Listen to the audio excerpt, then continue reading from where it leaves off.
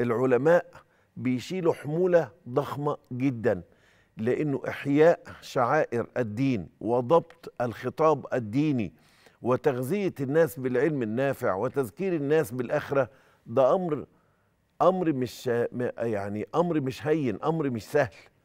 يعني خد بالك بيعملوا إيه العلماء العلماء بيعطوك أفضل هدية من الممكن إنك تعرفها وهي طريق الله.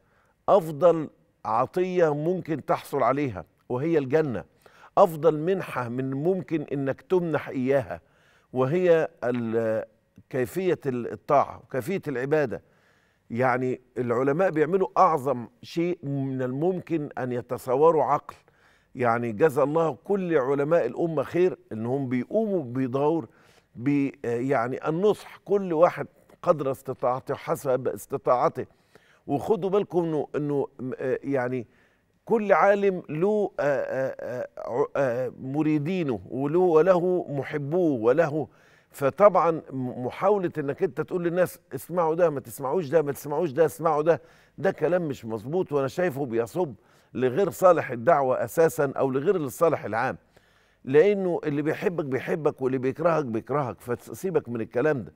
الاهم حاجة عندنا إنه العلماء شايلين هم أمة هموم الدعوة هموم لا تنتهي. العالم بيكون آآ آآ عنده حالة من حالات التركيز بإنه ينقل كلام الله عز وجل من غير تحريف أو من غير خطأ أو من غير تصحيف أو من غير لحن. بينطق الآية وما أدراكم ما ما هو وسواس العقل ووسواس النفس اللي بيحاول إن هو يشوش عليك الحفظ بتاعك فتلاقي أئمة كبار وعلماء كتار كلنا كلنا كلنا يخطئ ويلحن في آية وأول ما يلحن في آية أو يخطا في آية بتنهال عليه السكاكين وبتنهال عليه ال ال ال يعني التجريحات المؤلمة واخد بالك. ومجرد إن عالم اختلف معاك في الرأي أو أعطاك فتوى أنت مش متوقعها العالم ده بيطلع منافق والعالم ده بيطلع طبال والعالم ده بيطلع شيخ السلطان وشيخ الأطران وشيخ العلان وشيخ الفجل وشيخ الم... الكلام اللي هم عمالين يطلعوا على العلماء بمحاول يعني شيء عجيب. لمجرد إن هو اختلف معاك سياسيا أو فكريا لمجرد إن هو إن هو عنده فكر غير فكرك أو هو شايف أو هو بيحب واحد أنت بتكرهه أو هو بيحب واحد أنت بتكرهه أو بيكره واحد أنت بتحبه أو ما بي يعني أو كلامه ما جاش على هواك أو خلافه. إيه بقى كل واحد يطلع الكلام بقى اللي أنت فاهمه ويبدأ بقى كل واحد يصفي حساباته مع المشايخ كما لو كانوا هم السبب النكسة. وطبعا مش هحكي لك بقى عن بني علمان بني علمان اللي هو التيار العلماني يعني. إزاي بقى اللي هم الناس القرآنيين أو العلمانيين أو ما أعرفش إيه أو بتاع يقلب الدنيا على المشايخ على أساس إن المشايخ دول هم سبب توقف تصنيع القنبلة النووية. هم سبب نكبة الأمة العربيه هم اللي اللي اللي وقفوا المراكب السايره هم اللي يعني كل واحد فيهم ما شافش نفسه.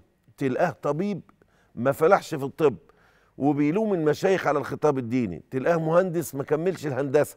وتلاقيه بيلوم المشايخ على الخطاب الديني. تلقاه موظف مقصر في عمله ويلوم المشايخ على الخطاب الديني. يا سيدي حضرتك يا ريت تشوف نفسك.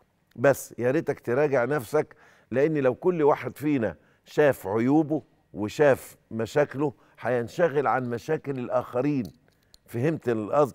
فكل التحية لعلماء الأمة خاصة في الأيام القادمة المقبلة اللي إحنا داخلين عليها اللي هي إيه؟ خير أيام الله في الأرض. العشر الأوائل من ذي الحجة. هتلاقوا في رمضان كل الشيوخ قاعدين في في هنا في في رمضان لإحياء ليالي رمضان. في الحج تلاقي كل الشيوخ طالعين على الحج لإحياء المناسك وتعليم الناس المناسك وإرشادهم إلى الهدي الصحيح.